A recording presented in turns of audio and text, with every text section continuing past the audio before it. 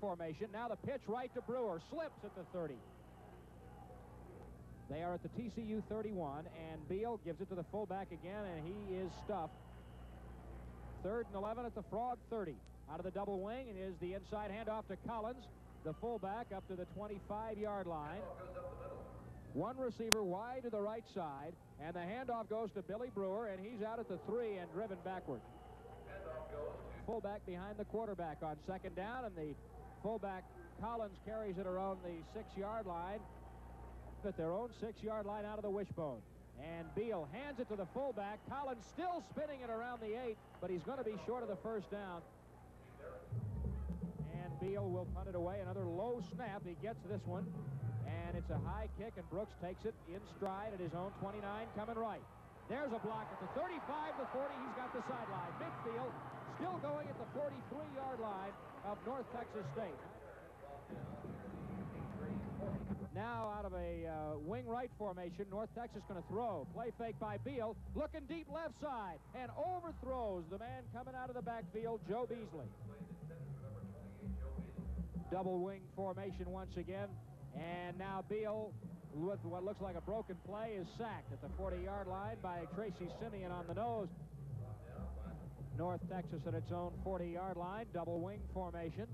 And Beal back to throw. Trey and is sacked at the 31-yard line by David Caldwell. North Texas deploys the wishbone after the fumble. And Beal pitches left and driven down hard after a gain of about four or five at the 41. On second down, Brewer coming right with a handoff. Boom, he goes down. Clobbered by Joe Johnson. Number 20, Billy Brewer.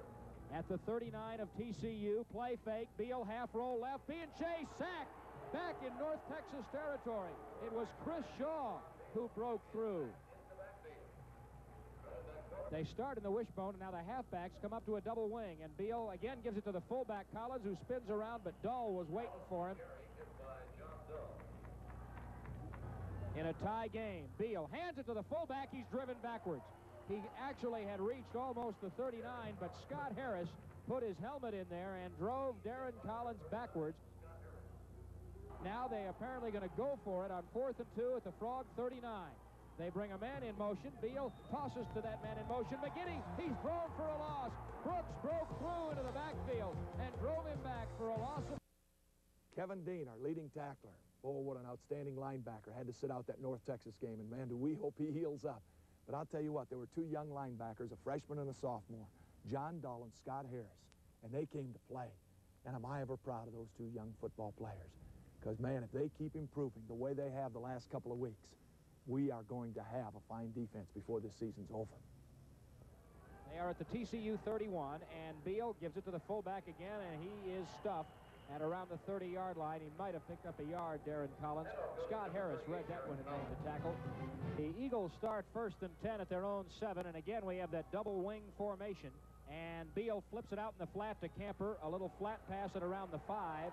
And the ball comes out, and TCU has it back at the North Texas five.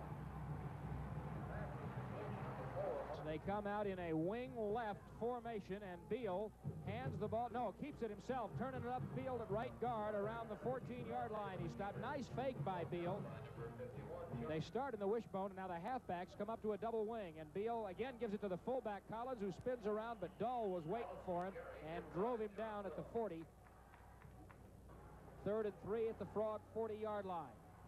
In a tie game, Beal hands it to the fullback. He's driven backwards. He actually had reached almost the 39, but Scott Harris put his helmet in there and drove Darren Collins backwards out of the wishbone. And Beal hands it off to the right side down to the nine-yard line, but apparently short of the first down. We're back into conference play this weekend against the Baylor Bears. And boy, they're having an outstanding season.